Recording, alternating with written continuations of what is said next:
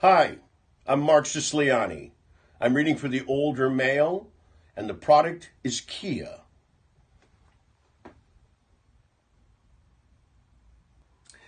I guess I have to say my favorite holiday is, well, Thanksgiving, because that's when everyone gathers and we're thankful for each other and we're giving to each other. So it's probably got to be the one holiday that I feel most excited to be in.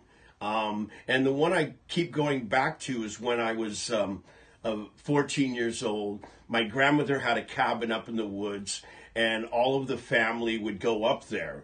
And this particular Thanksgiving, it was just it was like magical. It was um, it, it, it, everybody. We, she had a like a, a log cabin with a a, a, a, cast iron wood burning stove where the turkey was cooked and the and the mashed potatoes were made and the and the pies and everything was there. And then we had a long table where we all sat around and it was just it was just so wonderful because there was so much food and there was so much joy and, and the family was so excited to be together.